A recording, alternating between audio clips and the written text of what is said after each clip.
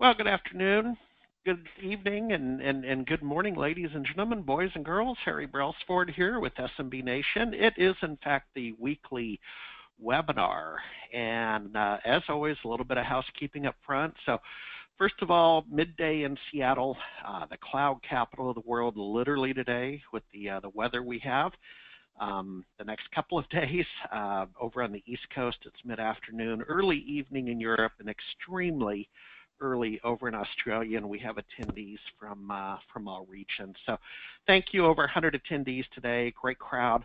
Um, a couple of housekeeping things up front. So, as we speak, uh, our Tour to Cloud workshop is occurring in Fort Lauderdale. So we have over 50 MSPs today doing a deep dive, a technical deep dive into Azure and Office 365 with Grant. Uh, Jenny's not on the webinar today because Jenny's awfully busy running that show, so they would have eaten lunch a little while ago, and they're turning the corner on uh, wrapping up the day in about another two hours and then heading home to Seattle. Last week we knocked out three cities, three stages in California, San Diego, Irvine, and Sacramento. So it's just it, it it's it's like a presidential campaign. It really is. Um, in two weeks we're in New York and Boston followed by election week. How about that? Election week, we are in Dallas, Austin, and Houston. So it's all at Tour to Cloud, tourtocloud.com. Join us. Um, we're getting really good reviews on the, the fresh content that we have, and there's a hunger for Azure.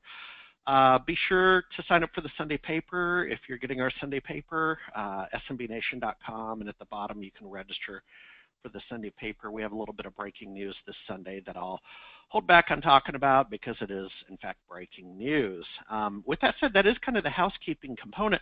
Be sure to use the question feature to ask your questions today. And uh, this is exciting that we have uh, some some good friends InfraScales here to talk uh, about their participation in the partner channel. This is a channel conversation today, so I want to hand it over pretty quickly to Derek and Chris. Gentlemen, good good after. I want to say good morning, but it's good afternoon.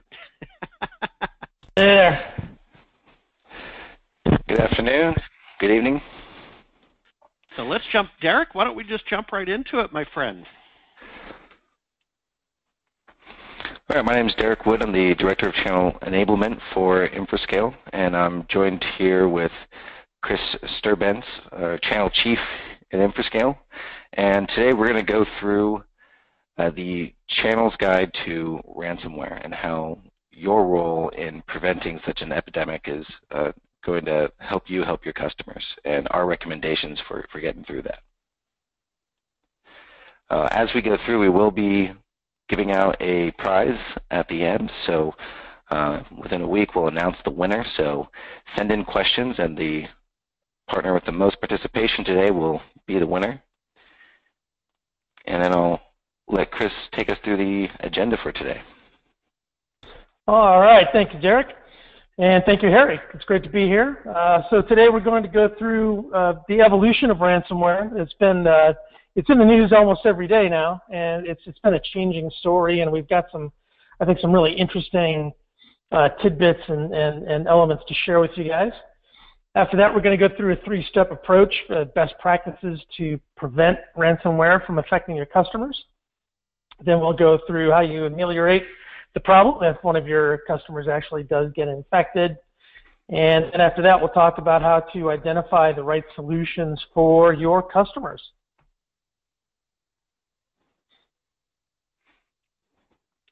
Okay, so we'd like to open up with a poll, first of all. So we're really interested to uh, understand how many of you have had one or more of your clients infected by a ransomware. And so you'll need to respond to this uh, in the chat window so we can get kind of a general sense of uh, is this something you're just hearing about or have you had to actually deal with this in your customer base?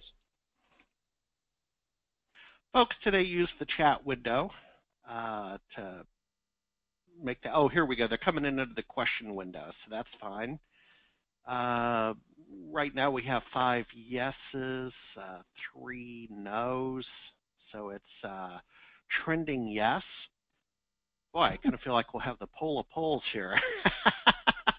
There's some analogies here. Yeses are clearly winning. Chris, it's it's looking like uh, maybe two thirds yes, if not a little bit higher, and and then uh, no and maybe and custom answers. And mostly yeses is what we would expect. Uh, it's already been uh, estimated that more than 50% of businesses in North America have been targeted by ransomware. And going right into our next section, the evolution of ransomware, you know, what are we what are we looking at as far as where did it come from and how has it grown? What does it look like today and, and where is it going? Uh, first, a little bit of history. Uh, ransomware isn't new. Ransomware has been around for you know, 20, 30 years. Uh, the big differences have been when we look at ransomware today, it's really the cryptocurrency that's enabled it to be so much easier to make money off of. So more people have entered the game because of the ease of the ROI and getting into this type of criminal activity, uh, combined with uh, phishing. So phishing started in the early 2000s, and it has become so popular. It's the most popular way to spread malware today, and these are some of the major reasons we're seeing it grow. Uh, it really started in 2015 and the alarming trends that we're seeing through 2016 are really because the worldwide reach, there are no borders, so anyone's susceptible. And they specifically started targeting businesses. So through 2015, it was just end users and as kind of a test bed, and then they got more sophisticated. And in their sophistication in targeting businesses, they started going after networks. And to kind of paint the picture of what we mean, uh, ransomware here is depicted by our little skull and crossbone, and we have Mr. End User, you know, all of us. So through phishing or drive-by downloads, whatever it was, ransomware gets on the machine, starts doing work in the background, and then over time, the user either activates it by opening a file that has been encrypted already, or everything's been encrypted and they get this message. They ask them for some money, or the user has to go and hope that they're doing their own backups. And that was when the average ransom was about $300. And in 2015, the total collection for the entire year was just over 300 million. Then you fast then you fast forward into the first quarter of 2016, and they started targeting businesses and saying, look, these users have access to a lot more valuable data. Let's look at their network and see what they're connected to. And from there, they would also look at, okay, what other users are they connected to? Maybe those users have better rights.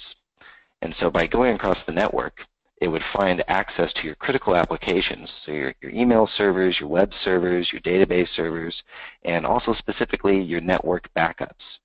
So doing things like deleting your volume shadow copies, uh, accessing network backups, and, and, they target those specifically because they know that's the only option you have uh, other than paying the ransom. And once that happens, they trigger you again. Furthermore, you have really great productivity tools like Sync and Share.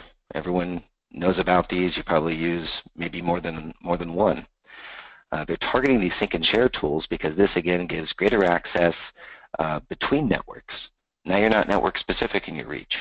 So now this goes to other users who then have access to another network, another business, and the cycle repeats. So this is one of the things that has uh, really been kind of scary about the whole environment and why we're seeing figures like this. So as of September of 2016, ransomware collections in 2016 reached $1 billion. Uh, right now it's averaging about 133 million a month in new ransom payments, and it's accelerating at about 11.5 million per month. So each month it's still getting bigger and bigger. So it's not slowing down. And the reason for this is because it's working. Uh, what's even scarier than the amount of ransom money that's being collected is the amount of downtime. So the ransoms, you know, at about three to five thousand dollars on average nowadays, is really not going to be killing your business. It's the five days of downtime that it takes on average to get through ransomware, whether that's because you had to pay the ransom and it took time to pay through the Bitcoin and get registered, or because you had to go through a somewhat inadequate backup and recovery system. So once you get hit, you're really given these two options. You know, pay it out, feed the beast, or hopefully for the the businesses that are that get hit by this stuff, they have a good system in place where they can actually recover back and recover everything they need. So to go next to it, uh, Chris is going to take us through kind of our three-pronged approach of what we suggest to combat this issue. All right, thank you, Derek. So at this point, uh, we're in the situation where uh, uh, you know, it's happening all the time. Again, we, we hear about this in the news. There are steps that can be taken to minimize the opportunity for this to happen to your customers, and it's got a couple different elements.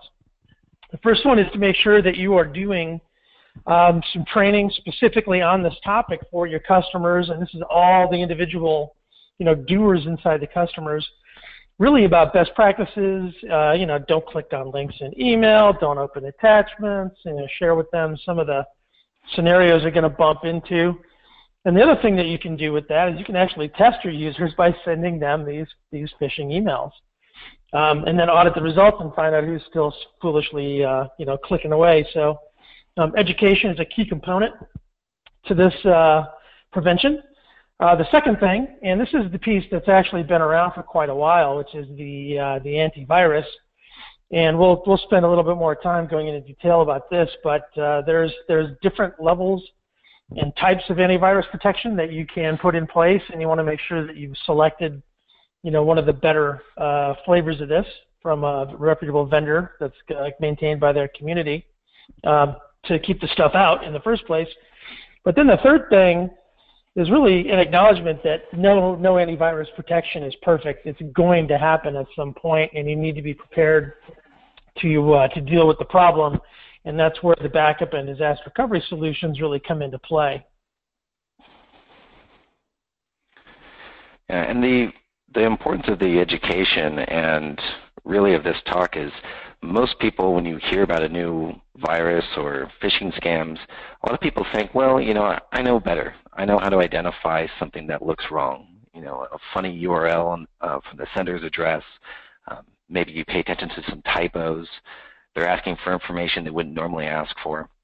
Um, or you have you have the antivirus in place, or you have email filters. Uh, the phishing attacks and the you know, drive-by downloads and these things, uh, they can trick anyone these days. When an email gets hijacked versus spoofed, it's coming from the correct sender, but they've changed a URL in there. And that's not something that your filters are going to pick up on all the time. And it's certainly something that your users won't be as ready to accept. And so we have some examples here on the screen. Amazon was a big one. Uh, we have some that we've actually had customers receive from what look like internal notifications from a, a, scanner. So you scan a document and you email it to yourself. It looks just like that. Uh, Apple recently was hit with this, you know, your Apple ID is about to expire, click here. Um, and you have a lot of other ways to go about it. And you have to really educate your users in how to react to this. Uh, one of the things that I've actually done personally um, with with my wife and I is because we do a lot of Amazon shopping. And I said just don't open any links from any emails you get from anyone. You know, log into the site that to the email and see if in their portal they have the message, and if they don't, then you can call them or just ignore it. Um, you know, it's you know, better safe than sorry. So when you go through the user Derek, education, Derek, if you don't mind, you can also use your Amazon Echo, my friend, and, and shop by shop by voice. But I, I couldn't I couldn't resist. Please continue. If you don't mind, I'm going to have a little fun with you. yeah, sure.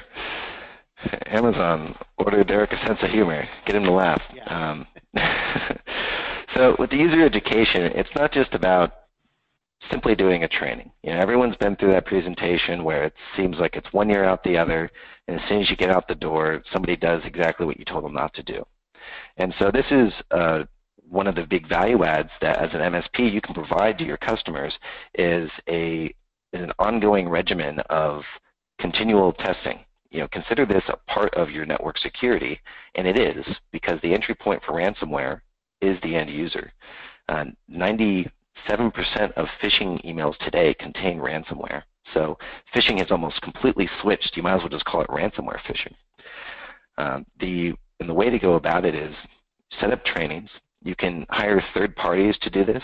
You can hire third parties to actually do the testing. So they'll actually come in and they will send out faux phishing emails to all the users in your organization, and you can see where, where things get in.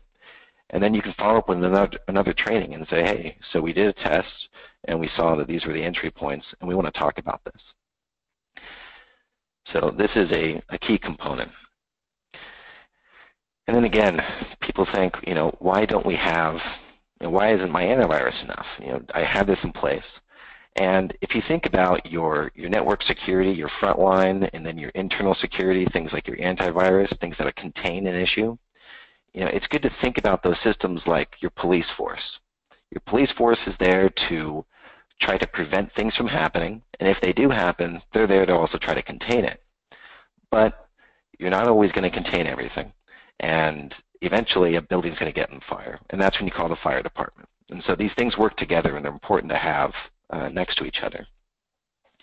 With our backup system, our fire department, we've actually built in some additional monitoring tools to help you identify and uh, try to get ahead of the game as far as things that are happening on your user systems that maybe shouldn't be. So when each backup runs on every device, over time we can see what's a typical type of backup. And for the most part, the rate of work that people do doesn't change so much over time. You know, you have you know, so many file changes and so many new files created, so many new files deleted, and we can see that there's an anomaly in this.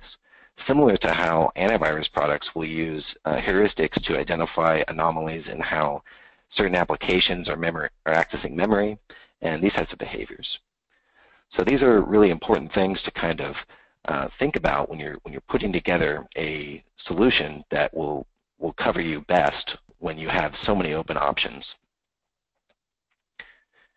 What's also important is to look at the ability to get back. You know, we talked about the incubation period, whether it's an incubation of infecting over so many users over time until that vulnerability presents itself and they get into your critical systems, or if it's one of the variants that slowly encrypts files in the background. Uh, if you can't recover to a point in time before your infection, then your recovery really isn't adequate. And that's another that's another place that we see a lot of customers get in a problem. It wasn't that they didn't have a backup in place. It was that they didn't have the right backup in place.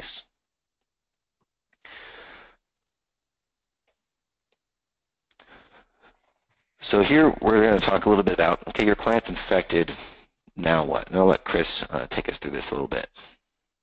And you know, excuse, excuse me, if, if you don't mind, um, uh, Derek, but uh, folks, be sure to use the questions uh, feature to uh, ask your questions. And shout out to uh, uh, Amari over in Brazil. So thank you for joining us from Brazil today. Chris, go ahead, sir. Thank you, Harry. So, okay, at this point, someone in the network is infected, right? So what do we do about it? So the first thing you've got to do is isolate that machine and get it off the network before the thing goes any farther. Um, that's that's probably the most important piece of all is to stop the spread, right? And you have to assume that um, once it's got an infected machine in the network, it's had an opportunity to spread it around. So you definitely want to look at all the machines in your network. But um, worst case, you just want to get that one off the network. Uh, the next thing you need to do, again, is you have to figure out when you got infected and and go back to that point in time and and restore the machine to where it was before the infection hit um, there are different tricks and techniques that you can do specifically with uh, resetting your BIOS time and things like that. Uh, but bottom line, you need to get the machine back to a state when it was pre-ransomware, and then you'll be able to, uh, at that point, recover your key files, and uh, you've eliminated the malware from that particular machine. Uh, but the third thing is to be able to go back to that, that image, right? If you cannot go back in time to that previous image, you've lost whatever work has happened since the infection hit, at the very least, if not everything. So um, this is where the importance of a, of a backup and disaster recovery solution really can make a difference in terms of how bad the impact is of one of those infections. So I'm gonna give this back to Derek here to go through these scenarios. Right. So as we mentioned, you know, with a backup system, uh, it's typically very targeted at at central systems and may be limited in its retention policies and may not at all look at um, the end users. And the recovery process is also a lot different. And, and what you see in traditional backup and even traditional DR systems, when a disaster happens, your downtime starts, right? That's your ticker. Now you start losing money. So you come in and you look at your your point, you identify, okay, this is the point we need to restore. So you, you have to provision some sort of hardware or place to restore it, right? You can't just do it in thin air. So you have a provisioning step. Then you need to figure out, okay, and verify this is the right place. And then when you find out that it's the right place, then you can run. Oftentimes, when you do that first that first test restore, you're going to do it in an isolated, contained environment, so so you don't you know release another beast out into the network. And if you find that it is infected, that's a lot of time to then wipe that machine and do another restore, so then you can then run when you finally find it. And this is you know a long process and take hours and days. With disaster recovery as a service uh, into a cloud, uh, if you have a true solution, you'll be able to get to those machines and boot them up immediately. You won't need hardware. You won't need to call anyone and ask them to prepare hardware for you. Uh, there shouldn't be any fee associated with it. You should just be able to run your machines. And if you can run your machines and even run them simultaneously, also in contained environments, you'll be able to very quickly end that downtime. And then you restore thereafter to a production environment, whether it's an existing or a new virtual host or if it's uh, physical hardware, you can take your time to do it properly because you've already ended the downtime ticker. And that's the important difference here. And we have this tale of two universities. We have the University of Calgary and University of Virginia. Uh, University of Calgary had been hit by ransomware about a month before the University of Virginia, and, and these techs um, talked a little bit. So when Calgary got hit, they didn't have the right systems in place. They couldn't do a recovery, and they ended up having to pay out ransom to get their data back, and they were down for a few days. Uh, fortunately, University of Virginia kind of got wind of this, you know, but they had already kind of put a DRaaS system in place. And when they got hit, it was from an example I shared earlier where it looked like a receipt from a scanned document from within the office. User hits it up, and all of a sudden everyone's infected. So our lady Ellen here gets the notice, opens up her central dashboard. Uh, she looks at the issue, identifies what, what kind of ransomware it was, finds out when it was infected, and then she just wipes out all the users' machines and restores back all their data. And total downtime was an hour and a half, and then they were fully fully functional thereafter. And she said it was easy peasy. Uh, she, she didn't break a sweat, and she lives a more comfortable life knowing that, you know, with ransomware out there, that's bad. But she knows at least if, if it does hit her again, uh, she's prepared and she's already been through it once, so it's not a big deal. So when you look at, so we went through the previous slide, you know, backup, disaster recovery, and we talked about Ellen's example, and we also talked about antivirus and education. So with all these things, okay, great, we need it. How do we go about really selecting the right solutions? So we'll start off with, with antivirus. So the antivirus must-haves is one, it's got to be a multi-layered approach. So the multi-layered approach is not just a signature-based, which is most of what your freeware will be. Your free antivirus will be almost purely signature-based no matter who you get it from. And that's okay for existing things, but um, you know, there's a new virus created every couple of seconds. So you're never going to be up to date. And with something as damaging as ransomware, you want to make sure you have some more advanced uh, heuristics. So you want some container observation. So if you have emails come in with attachments or additional URLs, uh, it'll actually trigger a container. So you can open these things up, and if there is something bad in it, your antivirus program will actually keep it locked within a little box and then we'll throw it out, throw it out the window. Another important thing is crowdsourced intelligence and alerting. Um, basically what you have with antivirus programs is every user that's using their system is on the front lines of the battlefield. And so crowdsourced intelligence is just getting real-time feedback from the battlefield, from the front lines, back to central command, who will then put it back out to all the other people on the front lines. And this is really invaluable uh, type of speed of changing the policies, adding signatures, um, adding new heuristics and behaviors that could be damaging or could signal damaging behavior. And we do have a partner that does all this with AVG, and we, we love working with them. we recommend taking a look at their stuff. Uh, in addition to the multi-layered approach, look at smart and dynamic scanning. Things, again, that are going to look at the behaviors, how it's interacting with your system's memory. Uh, in addition, you got to make sure that they have the right decryption tools. So if you go with a provider and they don't have a solid site that gives you not only ransomware decryption tools or ransomware um, mitigation tools, uh, you're probably not in the right place. And that goes with all the other malware that's out there. You know, you want to find a solution that's also not going to slow down the machine. Uh, you know, the first way to get your software uninstalled by a user is to make it affect their performance.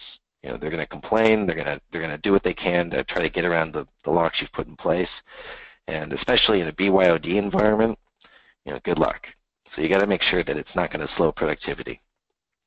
And of course, alerting and management. You want people to know if their if their scan hasn't run in a while, or if there's a new update they need to run, uh, or a way to push out an update if it's an important one. So you don't have to have a user intervention in that. And that's the general gist of what we recommend for the antivirus. I'll let Chris take us through the, the backup portion. Thanks, Derek. So, yeah, so everyone on this call, I'm sure, is doing some sort of form of backup, right? But it, the key is to make sure that you've got all of these various elements covered, uh, because many many point solution backup offerings don't do a lot of this stuff. So, uh, when we talk about enterprise grade solution, you're looking for a way to be able to protect and back up um, any device that happens to be on the network. So this would be servers, virtual and physical, uh, it's going to be all the end devices, it's uh, mobile devices, anything that's going to be accessing the network needs to be covered. The second thing, and again, this is a fairly new innovation, is, is having a system in place that detects when uh, unusual behavior starts to occur on one or more devices. Uh, we showed you a screenshot of the one that we have, and one of the reasons that anomaly detection is so important is it helps you identify the, the point in time that you need to restore from to get back to the pre-ransomware moment. And that leads right into versioning. If you have unlimited versioning, you have a really granular set of backups, and you can go back to the last clean one before the infection and minimize your loss of work or data. Um, endpoint protection, again, these are things that are off the network. They need some protection as well. And uh, we talk about file and folder backup because, uh, you know, a large amount of companies' data is on these individual machines and not necessarily stored on the servers. So you need to make sure you've got that covered. Uh, bare metal backup, if you need to wipe a machine completely and then restore a complete image, you'll need that flavor. We already talked about the devices and a little bit with the versioning. We talk about granular recovery points. You know, the smaller and more granular the delta is between these backups, the uh, less data you will lose in between. Um, fast recovery, we just talked about the difference between some slow traditional backups as opposed to the ability to virtualize a machine and, and fire that right up. And then multi-factor authentication is one way to make absolutely certain uh, only the right people get access to these backups. Uh, interestingly, even backups are now targets uh, for a lot of the ransomware and things that are going on.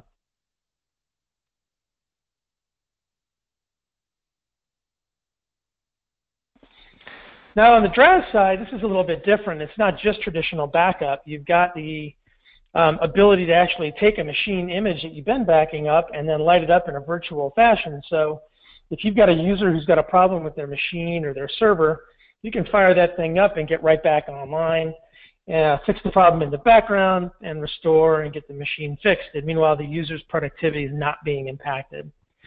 Um, now, the second thing is kind of interesting. A lot of companies that offer virtualization solutions like this don't provide any sort of an SLA for how long it will take. I've been in this industry for quite a long time, and I've heard a lot of stories about people trying to, you know, light up a virtualized Exchange server, for example, and it could take like hours for this thing to come up, and that's probably not the level of recovery time that people are looking for. So uh, one of the things you want to ask about is can you get a guaranteed SLA for recovery time from your vendor? And if they're not willing to offer one, you may want to consider looking at a different vendor.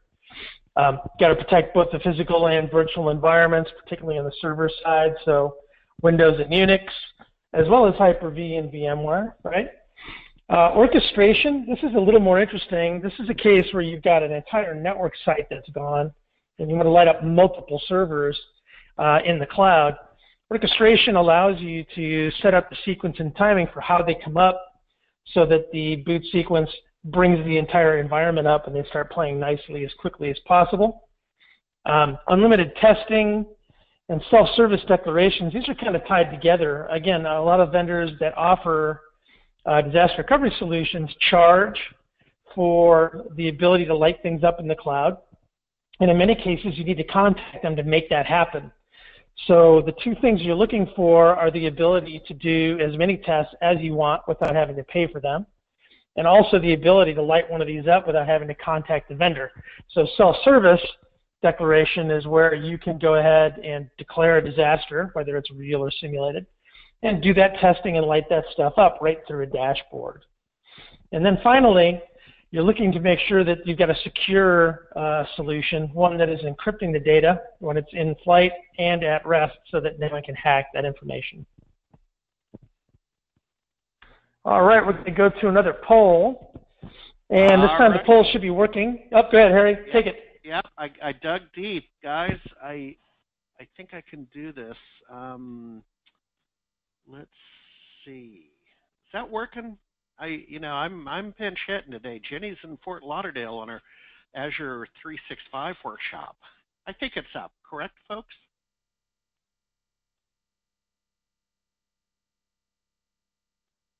Yeah, it's up and running. All right, folks, be sure to uh, to respond to that. While you're doing that, by the way, bottom of the hour, very quickly, housekeeping. Uh, use the question feature to answer your questions. And yes, we're in Fort Lauderdale today headed to New York and Boston in two weeks. Texas, election week, tourtocloud.com, tourtocloud.com. Be sure to join us. That's enough time to answer the questions, I think. Let's get back over here to the control panel. And let's try this. We have, uh, I'll read it off first now, then I'll close it, but we have 65% happy with our BDR solutions, 26% happy with our backup solutions, and 9% not happy. Now let me close it and see if it reveals some answers. And I'm not sure that did. Did that? Looks like we're back to the slide. So um, let's see. Did we get that right? Da-da. Do you have? Hang on a second. I updated the thing. I think that might have been an older poll. Is that right? Or did we? Yeah, I think that was an older one, Harry. Yeah, yeah, folks, we're going to have uh, use the chat window. Let's go ahead. Yeah, sorry about that. I'm not sure quite what happened there. Folks, use the uh, the chat window for either A, B, or C. A, B, or, or the question window for A, B, or C, and that's going to allow us a rough count. Let's do it again, if you don't mind, A, B, or C, and we'll get a kind of a quick, we have a lot of B's, one C, a lot of B's, B, B, B, couple C's. There we go. Okay, so it looks like the B's have it. Um, there, oh yeah, yeah, the B's totally have it, one or two A's. Okay, thank you folks for helping us out on that. Uh, okay, let's move on. Chris? All right. So uh, it, interestingly, B was the one that we get from uh, most folks when we talk to them about this, and, and just about everybody has got some pieces of this in place. Certainly, antivirus um, is deployed by just about everybody, and, and most folks have a backup. But one of the pieces that we find is that they, they didn't have all the elements of those two things. And beyond that, a lot of folks are not doing the education. So here's a, a really visible value-added service that you can provide to your customers in bringing them that that kind of structured training um, to make the complete offering. So, you know, B is the answer we were kind of expecting to see. Um, and thank you all for responding. All right. So, Derek, do I have control of the slides here? It'll probably be easier for me to just take it from here. All right. And oops. Oh, sorry. That's okay. well, sorry, make me the presenter, and then uh, I'll give you control. There you go. go. Yeah, we'll just go. Uh, do Do you have it? Presenter, you're just going to give me mouse and uh, keyboard control, and we'll be all set. There we go. Looks like it's working. Derek, you, sir, the presenter. If you want to go ahead and accept that important role. Looks like you did. Thank you. All right. All right. Did you give me mouse and keyboard control? He did. Hey, or didn't he? I don't know. I can't tell. Took it away. Okay, I got it now. We can take it. Okay, so uh, sorry about that. Uh, so first of all, um, we want to go through the uh, the different use cases of the InfraScale solution. Just really briefly, uh, we have really tried to develop uh, a robust offering to really tackle all these different things that we've been discussing to make sure that you can protect your customers. And we've been doing this for quite a long time. We've got over 50,000 customers around the world. Uh, we sell the solution exclusively through our network of IT service providers and managed service providers around the, around the world. And we've got over a million devices under protection at this point, just to give you a sense of the scale of it all. Um, let me kind of break down the kind of two areas that we approach. So the first one, if you look at the data value pyramid, this is kind of the different areas within an IT network environment. We've talked quite a bit about endpoints, especially as the entry point for ransomware. Uh, you get remote offices, so you got people working from home or remote locations from headquarters. You get your core data center, and then you've got your mission critical applications. And traditionally speaking, uh, you know, the backup offerings, especially around DR, are, are focused around just the top two. It's really just those servers that are being protected in most cases. And frequently we find that those remote offices and you know the mobile users and the endpoints are exposed. And again, welcome to ransomware, right? So we've got two different offerings that are really designed to address those two areas, and we'll take a look at those. So the cloud backup product, this is a direct-to-cloud offering. This basically takes data directly from a device, whether it's a server, a workstation, a laptop, or a phone, a tablet, and uh, takes that data directly to the cloud. And so that works very, very well, especially for folks that are off on and off network. Uh, the disaster recovery solution is the more traditional BDR uh, style deployment where you've got an on-prem appliance that handles the local backup and also allows you local failover for that quick recovery. It also offsites the data to the cloud and you can fail over to the cloud. So that's the distinction between the two different offerings. We protect all different devices. Uh, we've mentioned several times why this is so important, but uh, between those two offerings, you can back up physical servers running Windows, Unix, Linux, virtual servers under Hyper-V or VMware. You've got your desktops and laptops, uh, Windows, Mac, uh, you name it there, and then the mobile devices, tablets, uh, iPhones, Androids. Uh, it covers all sorts of different operating systems, so I'm not going to read them all off to you, but we've got just about everything you can possibly imagine coverable uh, through the two solutions, so nothing is exposed. And then the last piece that's really kind of interesting, we've got a lot of different variations in terms of where that data can be sent. Uh, traditionally, folks have off-sited the data to our cloud, but we also have uh, many MSP partners that have stood up their own data centers, and they now send the backup data from all of their customers directly to their own cloud. Uh, additionally, you can do site-to-site, so if you've got a hot site, you can do things that way.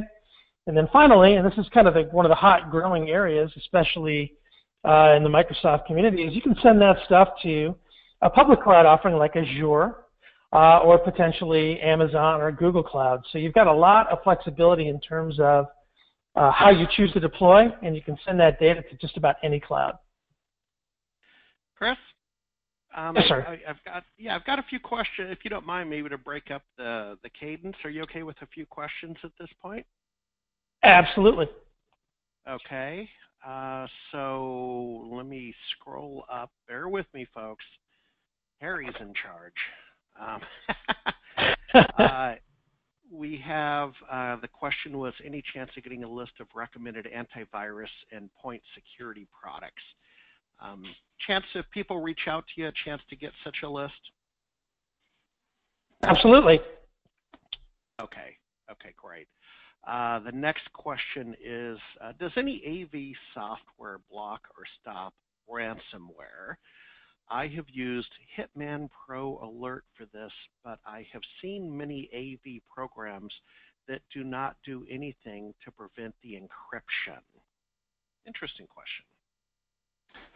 Yeah, Derek here. So the uh, so preventing the encryption and, and do AV programs uh, block or stop ransomware? I'll take those as separate questions. So first, does antivirus software block or stop ransomware? For the ones where there are known definitions, that it can.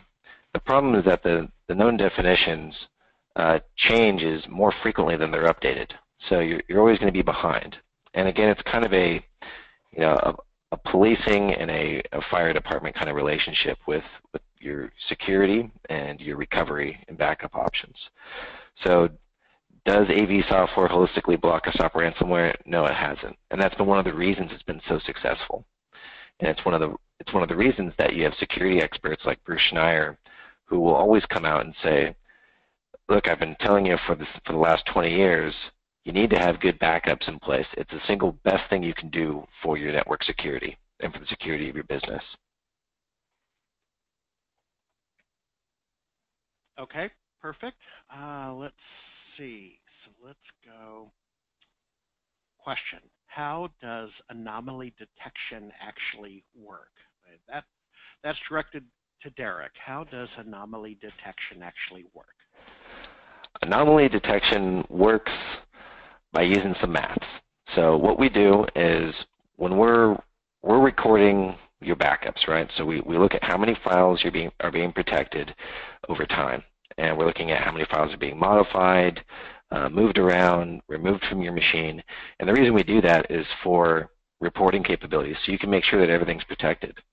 Uh, because we have this data, we're able to show a, a trend over time of what is typical behavior for a specific device.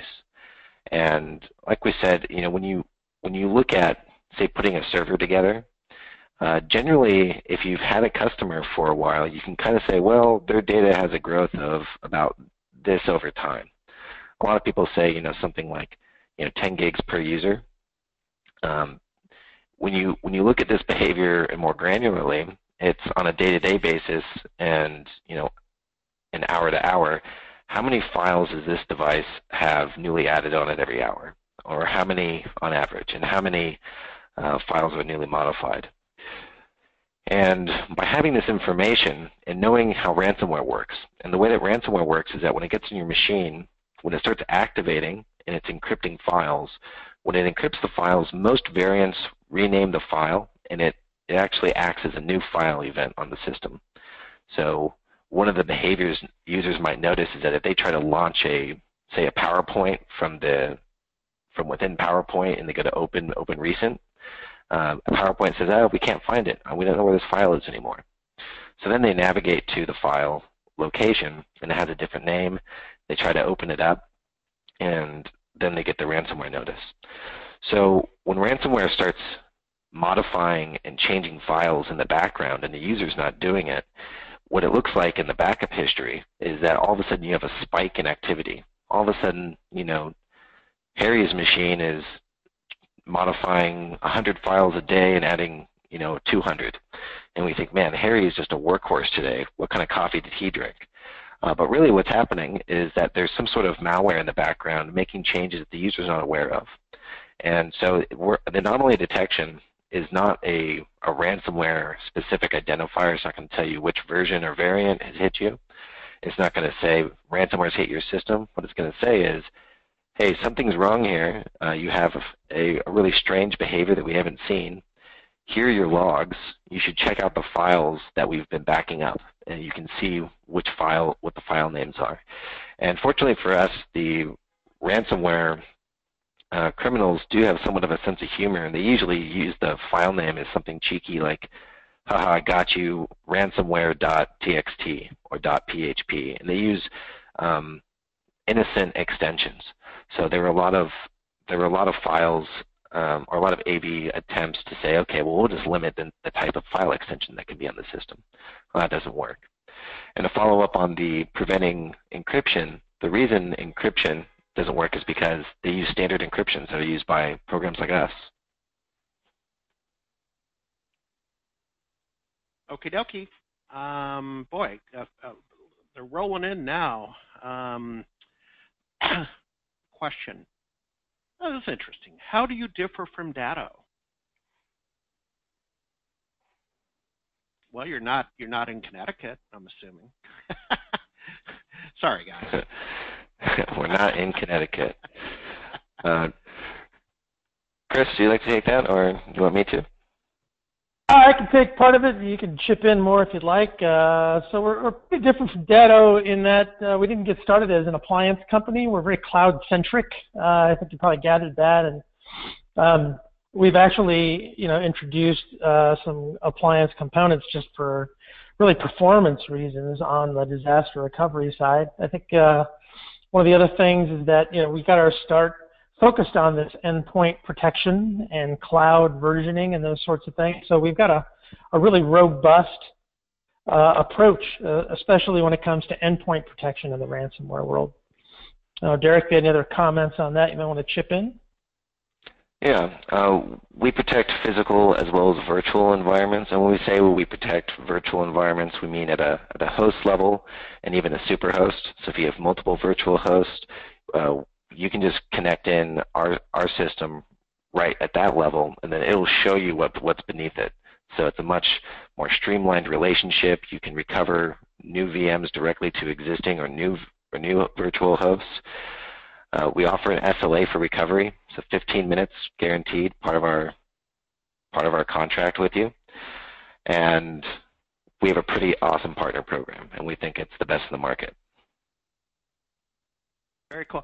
Hey, let's do that. We do have some more questions, but let's, Chris, let's let's get through the uh, your presentation, and then, uh, folks, we we will get to everybody's question. So, so questions. Chris, go ahead. Awesome. Now, we are very nearly at the end, uh, but one of the things that uh, we did want to bring up in particular was some of the things around uh, compliance. Uh, so these, these, these medallions are, are really, really important in certain verticals. Uh, obviously, everyone is familiar with HIPAA in the healthcare world. Um, we are part of a HIPAA compliant solution. Uh, the data centers are all SSAE 16 certified. this is the son of SAS 70, if you guys remember that. Uh, but they have gone through the audit uh, and testing for security processes.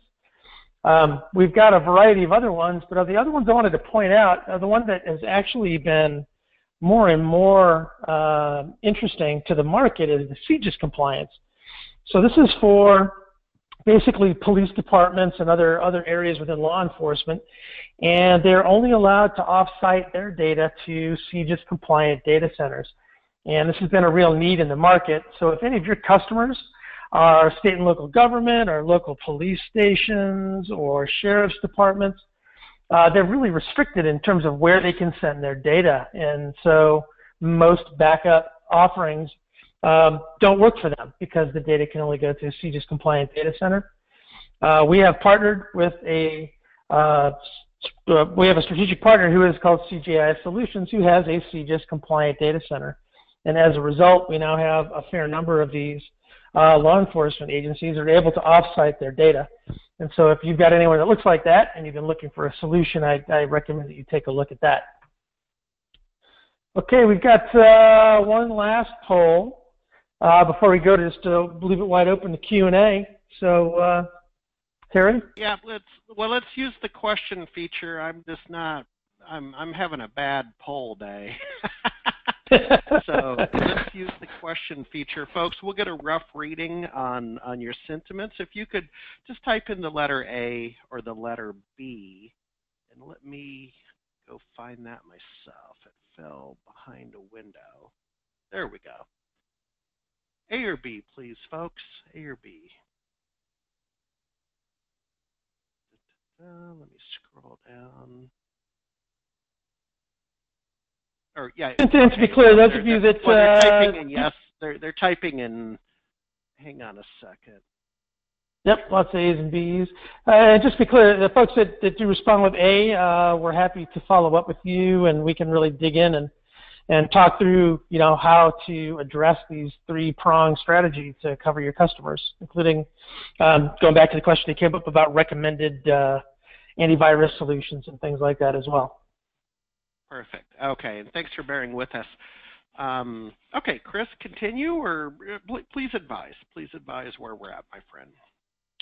Well, basically, that's it for the content. Uh, what we'd love to do is continue the Q&A. I'd like to remind you again that uh, the folks that ask the most and most compelling questions will be up for um, a, uh, a prize at the end for uh, whoever asked the most interesting questions and things like that. So we'll go through and some will be awarded a PlayStation, a uh, uh, Apple TV, or a drone. So ask away. Get those questions in there. There we go. Uh, okay, so I'm back on duty. Here we go. Does your uh, disaster recovery as a service, or I guess what, DRaaS, solution protect you against small server failures or just big site-wide, i.e. natural disasters? Great question, and it's one of the points we usually make when we're going through uh, the the importance of being able to protect what we refer to as micro disasters is just as, if not more important than your macro level disasters. Uh, statistically, the the risk of experiencing a, a fire or flood, um, especially depending on your region, is much lower than experiencing what you what is quite common, like hardware failure, user error, uh, these types of things occur for most of the damages. In fact, 55% of downtime in North America is usually is caused by hardware issues. So uh, we consider that to be a very important part of our platform, and we don't license or make complex the ability to do that. Uh, in our system, it's really the difference of you right-click a machine and you can explore to then search or browse for a specific file, folder, or application that you can recover to or recover, uh, or you can right-click and boot.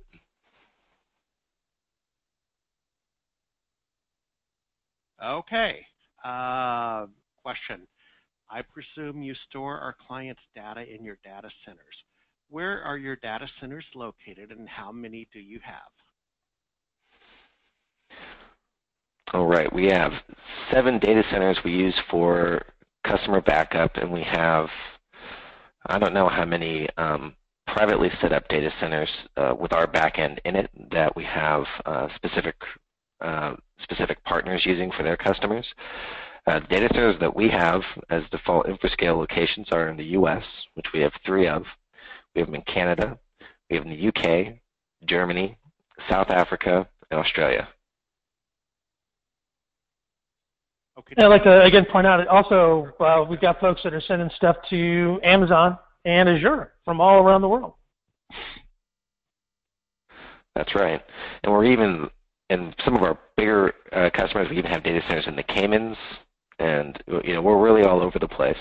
Um, you know, we're a software-first company, and we didn't want to push hardware on people. We're not here to sell you boxes. We're really about the the service of getting your business up and running. Okay, uh, next question. Has uh, it has InfraScale actually helped a partner or in customer recover from a ransomware infection? Many. Um, and the ones that have had our system in place before, uh, we end up doing a case study with, which uh, was actually the of two universities um, the nice IT manager, Ellen, was actually one of our customers, and since then has gotten uh, immediate approval to buy four additional boxes for four additional locations on campus. And those of you who deal with education uh, know how hard it is to make quick decisions in that environment.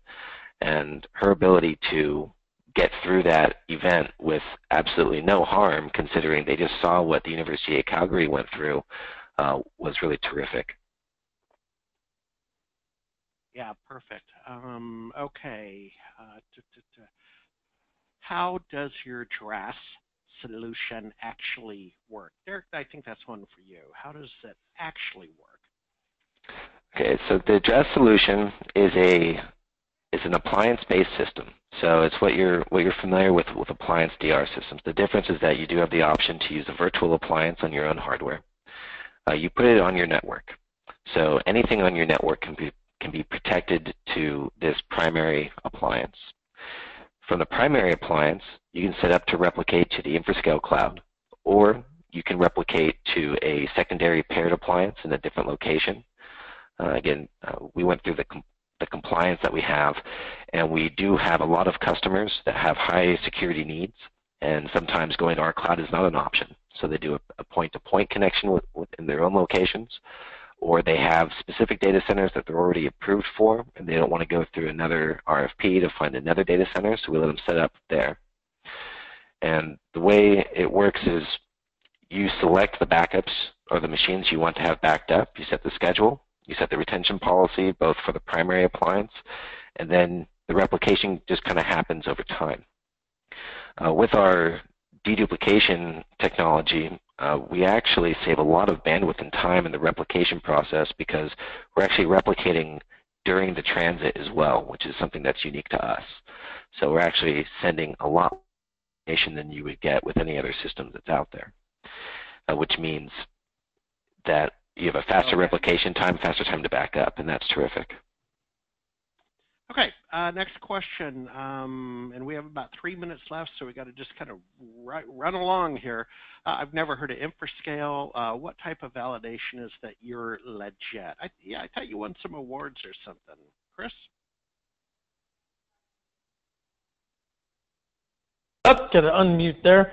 Uh, yeah, actually, we uh, were recognized by Gartner in a couple different ways. We were one of Gartner's cool cloud products in 2015. Uh, we are in the, the Gartner Disaster Recovery as a Service Magic Quadrant now as a visionary. Uh, the company's been around for quite a while. Uh, as we mentioned earlier, we've got over 50,000 customers using the solution, and we're protecting over a million devices. So, um, and we're happy to put you in touch with other uh, MSPs and partners that are currently using the solution. They can tell you about their experience with the product. Okay, uh, two more questions, folks, and we'll call it good because we are at the top of the hour. We always respect that. Does the appliance also back up workstations, or do you sell a combination of appliances for the server and direct to cloud for workstations? So for a mixed environment, it's typically both. Uh, the appliance is normally deployed primarily for the backup of uh, local servers, uh, although you can actually deploy a virtual appliance, which is uh, you know in a Hyper-V or VMware environment, and run it right there on the server. Uh, the endpoints are typically backed up uh, direct to cloud, so no appliance for those. Okay, final question today, folks, and then we'll announce the winner. Uh, do you have an InfraScale appliance or can you use your own hardware? I think that's for Derek. Both. Your choice. There you have it. Okay. Uh, Chuck uh, Pittish is the winner uh, for the prizes, so he'll be contacted by our good friends at Team InfraScale. Um, folks, I want to thank you. Uh, well, first of all, I want to thank uh, the individuals, uh, Derek and Chris from InfraScale. Um, thank you for joining us. By the way, where are you guys located today? You're down in California? Are you down in California today? Well, we are distributed. Derek is actually calling in from his home in Germany, uh, and I am here in the Bay Area. The company is headquartered uh, down in the Los Angeles area. There you go. Okay. um, perfect. So thank you very much for uh, stopping by to chat with our community today. Folks, um, as you uh, know, that, that we'll be back next week with our weekly webinar, and then in two weeks, uh, it's New York and Boston for Tour to Cloud. That's at tourtocloud.com, followed by election week in November for three cities in Texas, so Austin, Dallas, in Houston. Uh, boy, howdy, that's going to be a fun week. So for so many reasons, but um, enjoy the ride and uh, uh, fingers crossed that we survive the big storm hitting Seattle. Have a great day. Thank you very much, folks.